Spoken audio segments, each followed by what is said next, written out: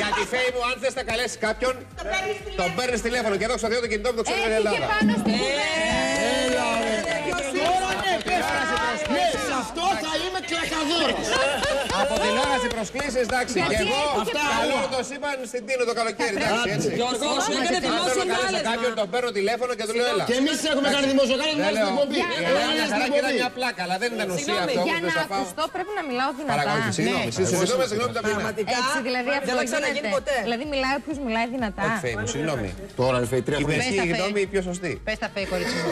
Το δίκαιο φωνάζει. Εσύ Ε, πες να τα πεις τώρα. Να δούμε, λέω, να πώς δούμε είναι το κάλεσμα που έκανε. Δεν σε έμαθα